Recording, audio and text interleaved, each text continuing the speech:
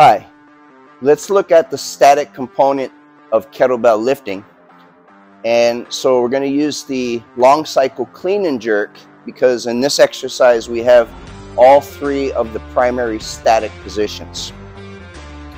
Now, in the companion video, I showed the dynamic. The dynamic of this is the movement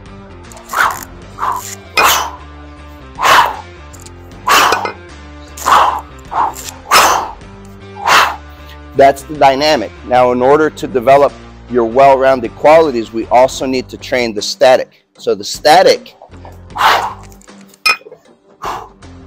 that's the holding.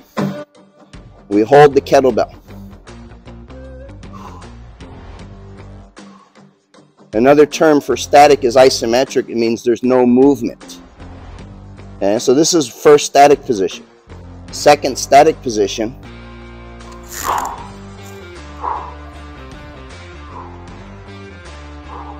So we're holding the kettlebell overhead, continuing to breathe.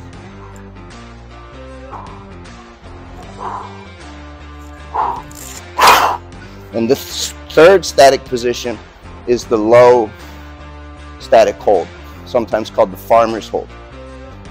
Now there's many, many ways this can be programmed.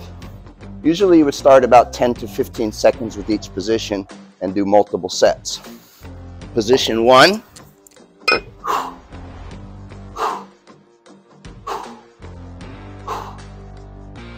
position two.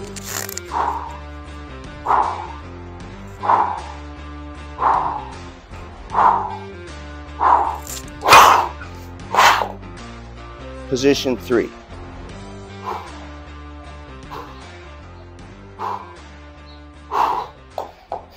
And those are the static holds.